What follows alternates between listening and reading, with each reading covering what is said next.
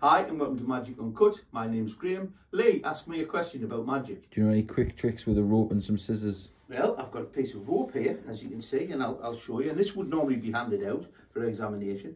And I've got a pair of scissors. Now, to find the centre of that rope, if I put the two ends together, that's got to be the centre. Would you agree? Yeah. So if I bring the centre up like that, and I give it a cut, right, then I should finish up with two. Ah, I haven't cut them even. If, I, if you don't cut them even, it's not a big worry because what you can do is you can tie them together in a knot like that and then you're back to where you started except now you've got two pieces of rope tied together. I'll tell you what I'll do. I'll just wrap them round like that into there, wrap it round, wrap it round and I've got some magic dust in my pocket. If I sprinkle that on, blow. Now we're back to where we started with a piece of rope and a pair of scissors.